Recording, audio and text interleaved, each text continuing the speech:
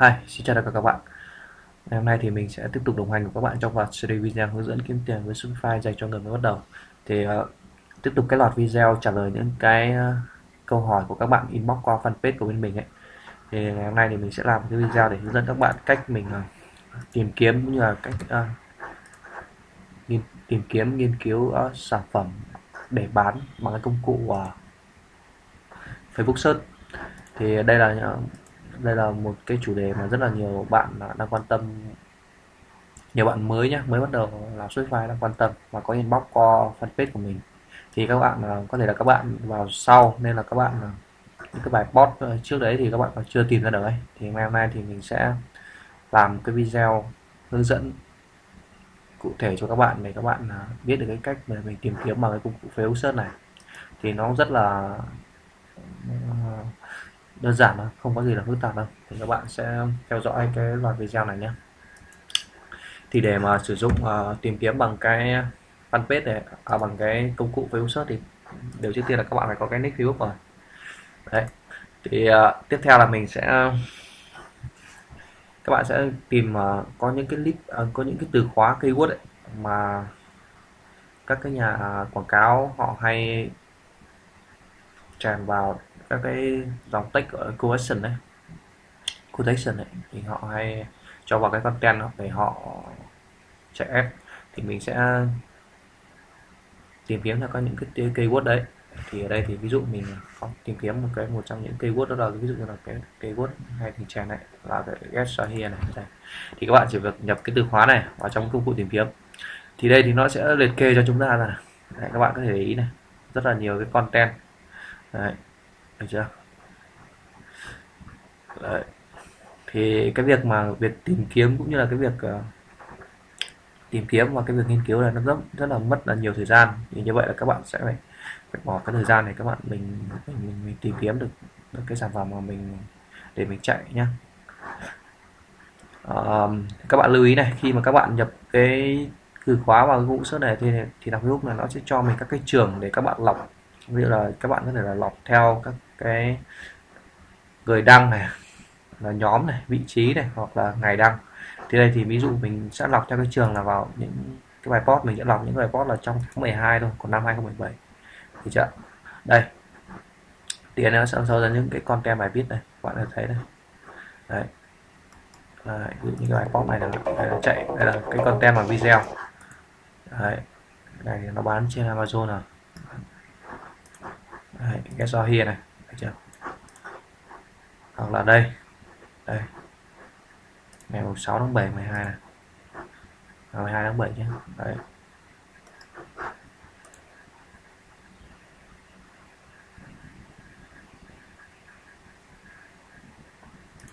Được chưa?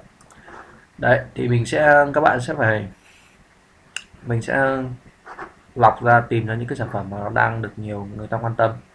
Đây các bạn sẽ tìm những cái post mà nó có cái lượng like cũng như là lượng comment, lượng share nó lớn đấy để mình à, để mình à, nghiên cứu, đánh giá cái sản phẩm này dạ. thì đây thì ngoài cái bài viết thì các bạn có thể lọc cái content theo video hoặc là theo ảnh. Đấy. thì nó sẽ lọc riêng cho mình. Được chưa? Đây.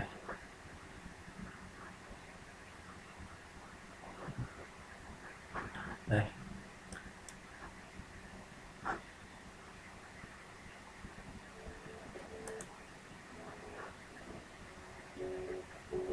Đấy nó sẽ lọc riêng cho mình. Dạ, Được, với cái từ khóa get here này. Um, đây mình có thể ngoài ra đây các bạn có thể lọc theo ảnh.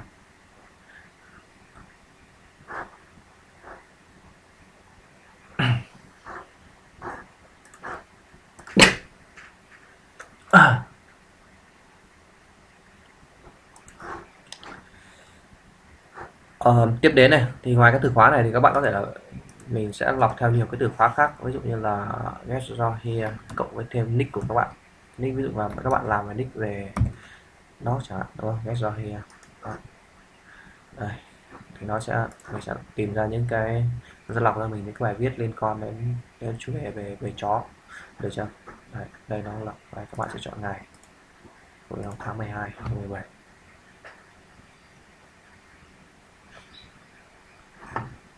đấy nó sẽ log cho mình.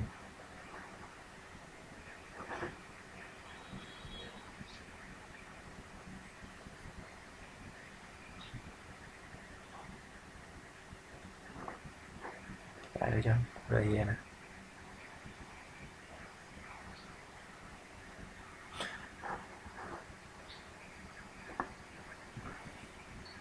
Đấy, ví dụ như cái này này có 2k6 là 534 bình luận này. Được chưa Đấy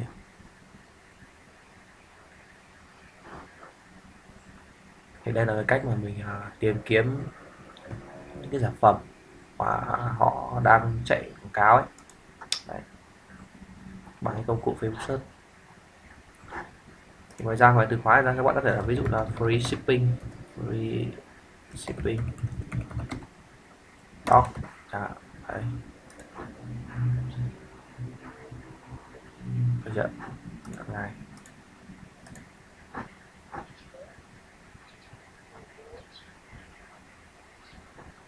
đây thì nó, nó sẽ lọc vào cho mình.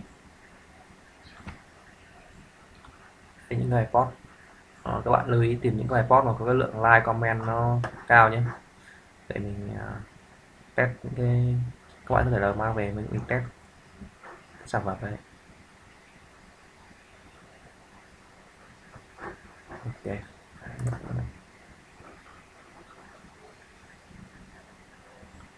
Um, cái việc uh, research này nó rất là cần rất là nhiều thời gian đấy các bạn nhé chứ không phải là mình tìm qua là ờ, ra luôn được đâu. Đấy, mình phải mất thời rất là nhiều thời gian. Ok bây giờ là bài ít là hoặc là mình uh,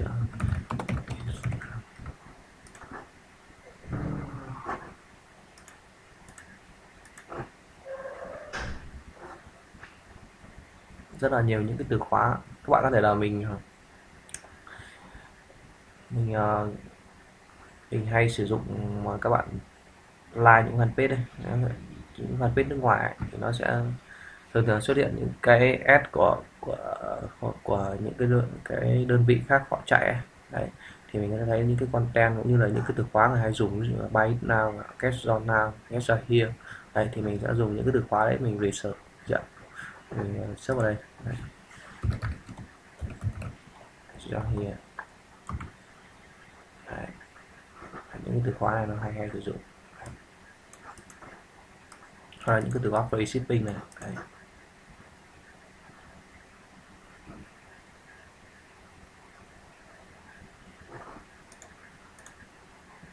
Đấy, ví dụ mình tìm cho tháng 11 xem. Đấy, chưa? Đấy, cốc này